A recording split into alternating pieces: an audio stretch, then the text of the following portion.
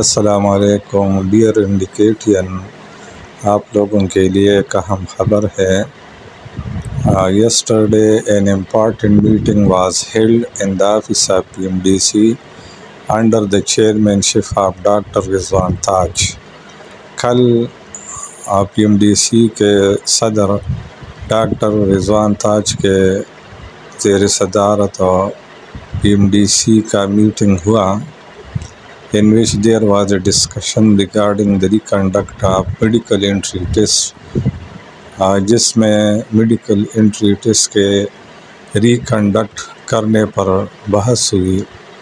In the meeting it was decided meeting में ये फैसला किया गया to hold indicate in both the provinces on November 19 2023 के दोनों सुबह यानी सुबह खैबर पख्तूनख्वा और सुबह सिंध में इंडिकेटस 19 नवंबर 2023 को कंडक्ट करने होंगे the final decision will be taken by the PMDC national academic board on Tuesday आखिरी फैसला पीएमडीसी का नेशनल एकेडमिक बोर्ड करेगा जिन जिसकी मीटिंग ट्यूसडे पर पॉसिबल है कि मंगल के दिन पीएमडीसी के नेशनल एकेडमिक बोर्ड का इजलास मनद होगा और उसमें आखिरी फ़ैसला दिया जाएगा कि 19 नवंबर 2023 को सुबह खैबर पख्तनख्वा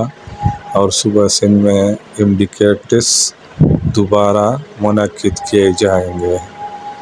ये अब तक एक अहम खबर है, जो शहराम खान ने अपने ट्विटर पेज पर आप लोगों के साथ शेयर किया है, और मैंने उसका मैसेज आप लोगों तक पहुँचाया। ऑफिशियली जब ये कंफर्म हो जाए तो मैं वो भी आप लोगों के साथ शेयर करूँगा।